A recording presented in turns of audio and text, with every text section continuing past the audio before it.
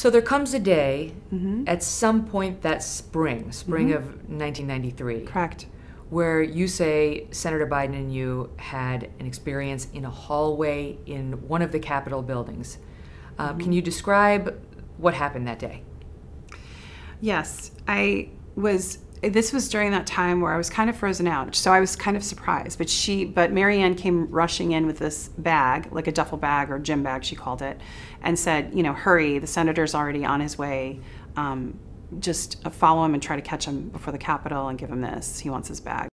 I remember going down the Russell Building floors, and so I don't know if I was in the first floor of the or the basement, but there's corridors that lead to the Capitol and that kind of thing. And I was trying to catch up with him, and This would have been on a weekday?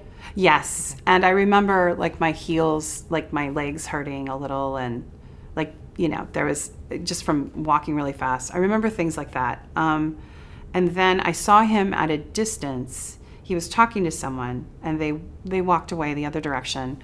And then he greeted me. He remembered my name and then I said, you know, here you go, Senator. I handed him the bag. And it happened very quickly. I remember I remember being pushed up against the wall um, and thinking the first thought I had was, Where's the bag? Which is an absurd thought, but that's what I thought was, bag. Where's the bag? Yeah, because I was handing it to him. And um, he had his hands um, under underneath my clothes. And um, it was it happened all at once. So he had one hand underneath my shirt and the other hand um, i had a skirt on and he like went down my skirt and then went up and i remember i was up almost on my tippy toes and um, when he went inside the skirt he was talking to me at the same time and he was leaning into me and i pulled this way away from his head i remember and so he was kissing my neck area and he whispered did i want to go somewhere else in a low voice he said some other things. I can't remember everything he said. Um, but he said um, something vulgar. And May I ask what? he, he said, I want to fuck you. And he said it low, and I was pushing away. And I remember my knee hurting because our knees, he, he had opened my legs with his knee, and our knees caps clashed. So I felt like this sharp pain. His fingers were inside of my private area, my vagina, and um, it it wasn't. There was no small talk. There was no like precept. There was. It was just sudden, and it was happening like that. And he um, was saying that to me, saying those things to me, and I was pulling away. And then he pulled back immediately when he could see I wasn't complying. I was obviously just tensed up and frozen and not kissing him back and not going with him. And he pulled back and he looked at me and he said, Come on, man, I, I heard you liked me. And when he said that, it was either I heard or I thought, but I remember hearing heard.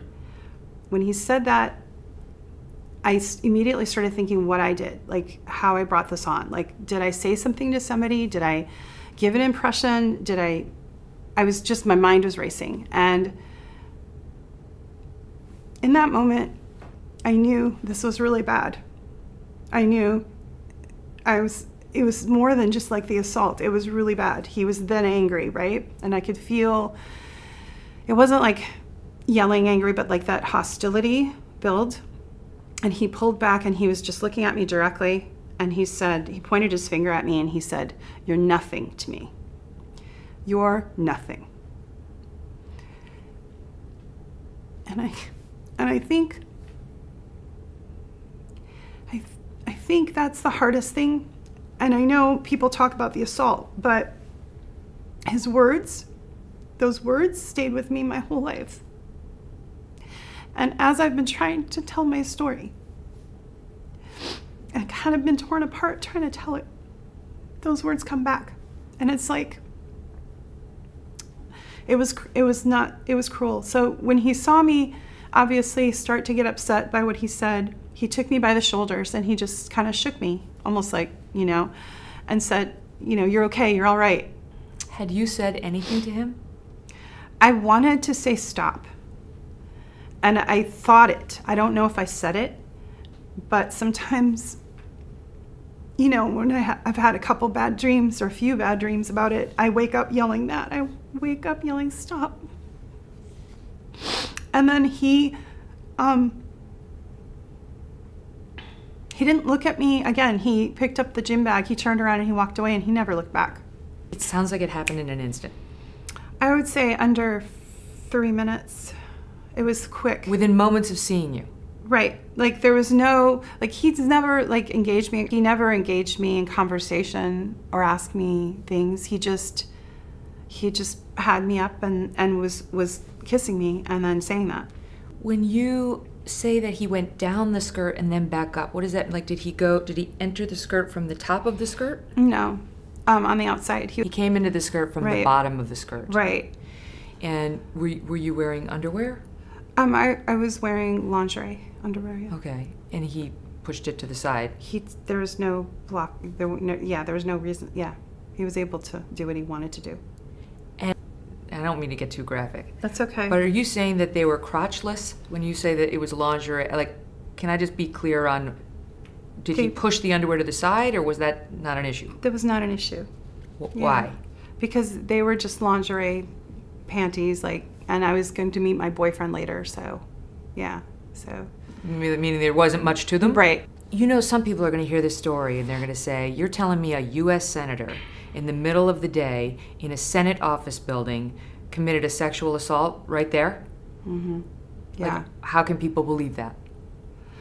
i don't really care if people believe it or not i've had to live with it and it's just one of those things that's impacted and shattered my life it changed everything about my life in that moment i knew how angry he was and i remember thinking like taking it on myself like thinking i put him in a bad position like maybe he thought i wanted to be with him Many people look at him and they say, You know, Joe Biden is a jovial, kind, warm guy.